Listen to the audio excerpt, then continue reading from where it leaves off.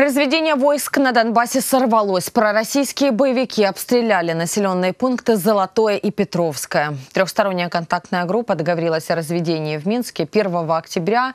Главным условием было затишье как минимум на 7 дней. Но боевики умышленно обстреляли район разведения. Только в полдень съемочная группа ЮИТВ насчитала 4 нарушения режима прекращения огня со стороны оккупантов. Всего же за последние дни зафиксировали 20 обстрелов.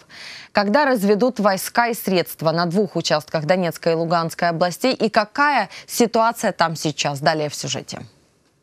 Это поселок Золотой-4 в Луганской области. Местные жители с утра вышли под стены Дома культуры. Хотят узнать, к чему приведет разведение сил. Мнения разные. Для меня на данный момент ЗСУ – это наша безопасность.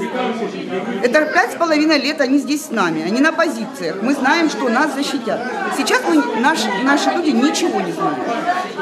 Потому, потому я и против отвода войск. Мы все-таки против, чтобы войска отводили. Поэтому скажем так, мы уже привыкли.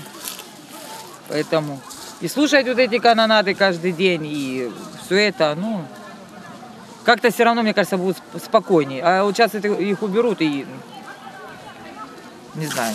В Золотом ждали Владимира Зеленского, но вместо президента приехали представители Генштаба и рассказали, разведение отменяется из-за провокаций боевиков. В полдень во время пребывания нашей съемочной группы в поселке оккупанты четырежды открывали огонь из автоматического станкового гранатомета. Справа, слева, где мы зараз стоимо. Справа, слева, там, где мы сейчас стоим. Это как раз те самые позиции, на которые разводят войска. И наша часть разведения как раз сейчас, где мы с вами находимся. Вы только что слышали даже, как работает инженерная техника. Разведение войск больше коснется жителей населенного пункта Катериновка. Он находится на расстоянии двух километров от Золотого 4. В буферной зоне окажутся 122 дома. Там правопорядок обеспечит полиция.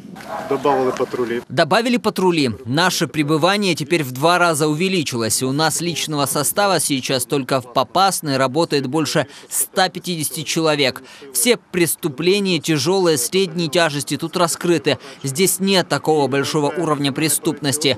В Золотом, мы считаем, сейчас приблизительно на 10 человек человек, один полицейский. Это больше, чем по стране в целом. Намного.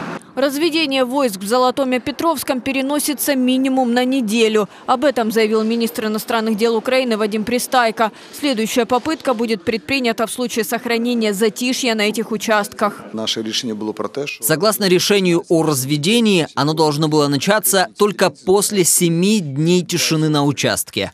Поэтому нам нужно ждать семидневный период без обстрелов. Это послужит доказательством серьезности намерений сторон и готовности к дальнейшим шагам по разведению.